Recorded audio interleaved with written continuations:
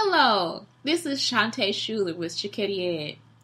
Today I'm going to be reading about Mr. Louis Armstrong. The book that I'm reading is by Vashti Harrison. It's called Little Legends Exceptional Men in Black History. On part 11 on the page. The page is page 28 if you have the book. Louis Armstrong, 1901 to 1971, jazz musician. Louis was born in the same place as Jazz, New Orleans. He had a rough upbringing, living in a neighborhood so dangerous it was nicknamed the battlefield. He got his first job at age seven, collecting scrap around town.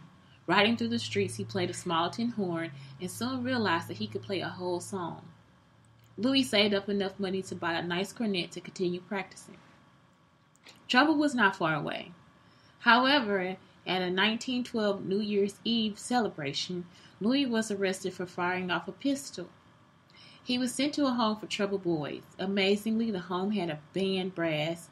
Uh, brass bands have been an integral part of New Orleans culture since the late 1800s, and Louis was given real cornet lessons.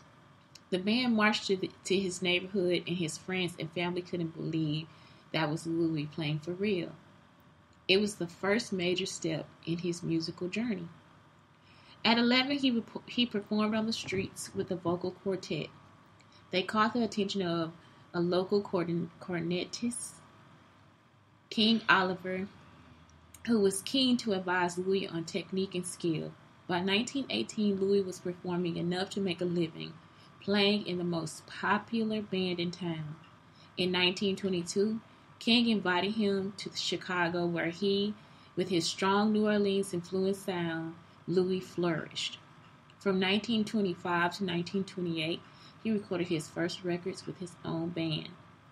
They were some of the most influential records in jazz history.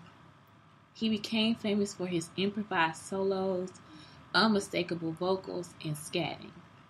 Louis had many hit records, including La Vie en Rose and What a Wonderful World. Over the years, he received criticism from younger jazz musicians for his old fashioned stage persona and his silence on politics. But throughout his career, he broke down barriers and took a stand for civil rights. He's had many nicknames, including Satchmo and Pops, but the moniker Ambassador Satch he earned for his dedication in sharing jazz all over the world. So, here is a picture of little Louis Armstrong and that's cool. So, trouble don't last always. That's really good. Page 28.